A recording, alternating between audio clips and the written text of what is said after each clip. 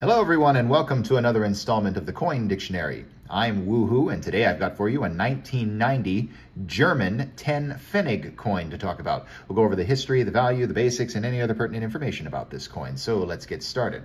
This is the obverse, which shows an oak seedling above the date 1990, and we see around here Bundesrepublik Deutschland, which means the Federal Republic of Germany.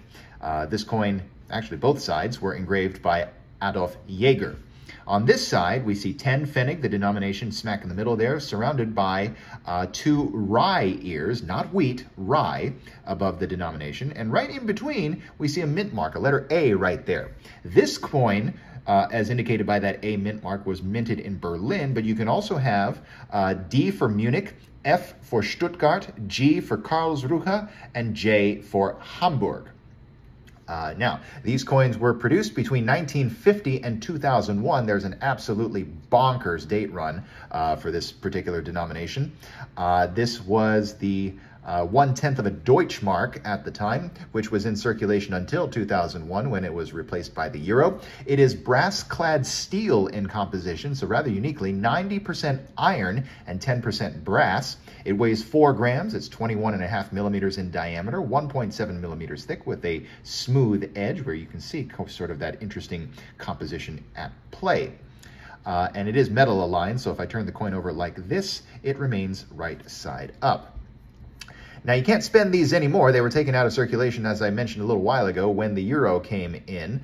Uh, and not that they would really be worth that much nowadays anyway. All the mint marks have an uh, mintage above 100 million. In fact, uh, this particular example, the Berlin Mint, has a mintage of exactly 100 million for circulation. So this is likely the kind of thing you'll find in your local coin shop's foreign coin bin for a quarter. That being said, Germany is one of the countries where they would make their pre-euro currency exchangeable indefinitely. So uh, you can technically still exchange these for euros at a rate of about two Deutschmarks to the euros, making this coin worth about five euro cents.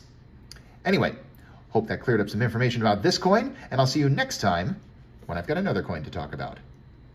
I'll see you soon. Thanks for watching the video. My name's Christian and I own The Coin Dictionary and I'd also encourage you to visit us at our website, thecoindictionary.com and on Instagram at thecoindictionary.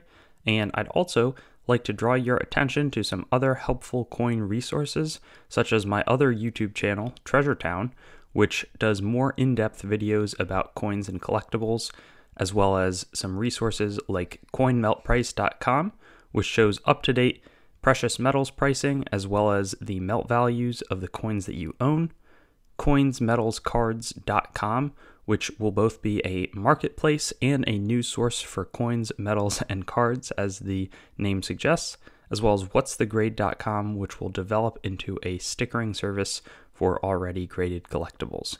Have a great day, and I hope to see you on some of our other videos.